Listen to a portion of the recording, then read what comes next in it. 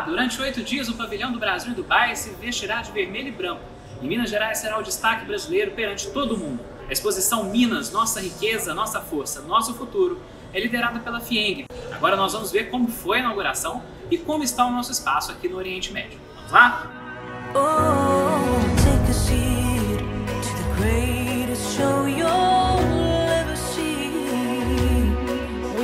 Minas Gerais tem muito a mostrar ao mundo.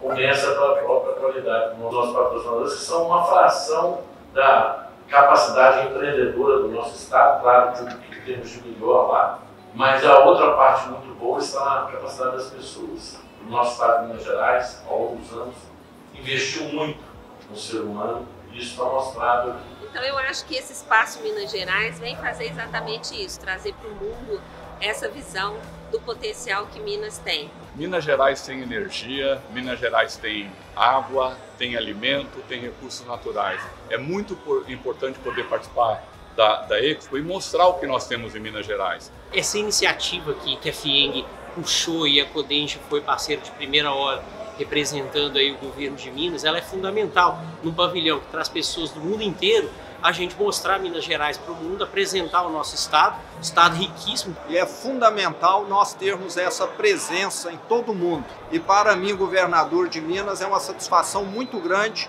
saber que nós estamos fazendo esse trabalho em conjunto, governo e iniciativa privada. one family.